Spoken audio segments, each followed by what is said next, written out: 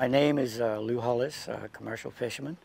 I fish out of the little bay called Boss's Cove, which is uh, just near Shorewood Park Estate. I've uh, fished there since I was a little boy. I used to go fishing with my grandmother in a punt. And um, I actually was an engineer for Hamilton Princess. I gave that up to go fishing full time. Um, I'm one of the few fishermen that uh, dealt with quite a few sharks. I used to go at night shark fishing just to get sharks. I, I have a method that um, to stun a shark before I actually put him in the boat, uh, I normally bite him on his nerve center, which is the nose. And uh, my father taught me how to do that many years ago. I don't advise anybody that um, is afraid of a shark or don't know what they're doing to try to bite a shark on the nose because it can be very dangerous. You might lose your nose. but um, I learned how to make shark oil barometers. It's something that was handed down from generation to generation. Um, the shark has to be caught the right phase of the moon uh, to get a nice, clear, white liver. I find that the best month for getting shark livers is the month of September, if I can get them. Uh, then I also work on the oncoming phase of the moon, when the moon is coming. The liver seems to be a lot clearer and a lot better oil from the liver uh, when you get it at the oncoming moon. When you tend to get um, the livers um, on the dark side of the moon, the oil tends to be dark, which you will see uh, in the background of me. There is assortment of shark oil barometers. The one at the bottom, you can see, is a darker color than the ones at the top. That's because it was taken at the wrong time of the moon phase.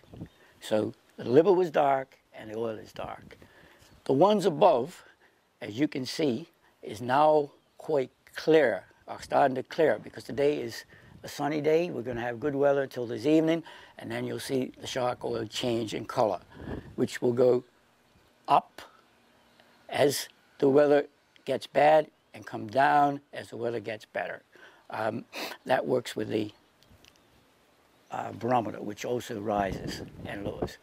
In the event that we're going to get a hurricane or a storm, this white shark oil will spiral in the center and you'll see it rise just like a twister or a tornado coming up from the center. If the wind direction is going to change, also you'll see that the shark oil will slope to one side if the wind direction is coming from the south because these bottles are hanging on a wall that goes from south to north. And I can actually tell the wind direction from these shark oil barometers. It goes way back to the early uh, mariners, and uh, they didn't have all the fancy weather stations and stuff like we've got today to tell us what the weather is going to be like. So most fishermen and, and mariners learned to read the shark oil. This shark oil will last indefinite, providing that it doesn't get broken or it it's, uh, doesn't get laid down on the side. It has to be in the upright position like you see them there to make them work. I have a relative of mine that uh, about two years ago, he had this uh, flu and bad cold that he couldn't get rid of. And he is um, a generation ahead of me. And he's grandfather's my great-grandfather.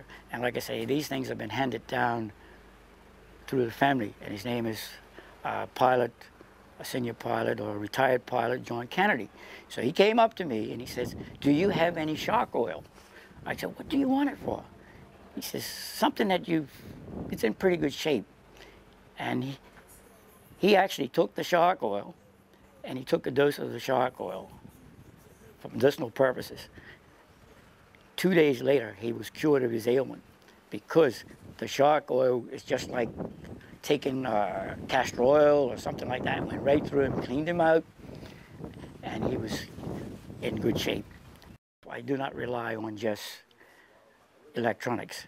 Electronics are man-made and they can go wrong.